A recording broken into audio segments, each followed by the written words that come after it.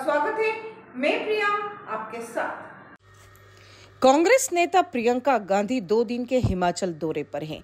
दूसरे दिन वह शिमला के शिवबावड़ी मंदिर के पास हादसे वाली जगह पर पहुँची, जहाँ लैंडस्लाइड के बाद 20 लोगों की मलबे के नीचे दबने से मौत हो गई थी।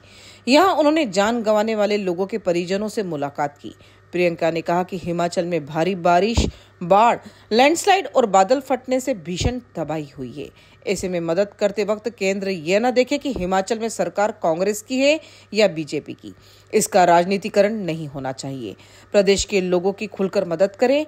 पहाड़ों पर लोग त्रस्त हैं। केंद्र सरकार यदि राष्ट्रीय आपदा घोषित करती है तो इससे हिमाचल की ओर मदद हो जाएगी। हिमाचल सरकार भी विधानसभा के मानसून सत्र में इसे लेकर प्रस्ताव पास करके केंद्र को भेजेगी। प्रियंका गांधी ने कहा कि हिमाचल के लोग आपदा से जूझ रहे हैं। यहाँ के लोग राहत की उम्मीद लगाए बैठे हैं। ऐसे वक्त में मोदी सरकार ने वॉशिंगटन एप्पल पर इंपोर्ट ड्यूटी कम करके बागवानों को झटका दिया है। प्रदेश के सेब बागवानों पर इसकी मार पड़ेगी। बाकी की तमाम खबरों के लिए बने रहिए राजनामा टीवी के साथ। धन्यवाद।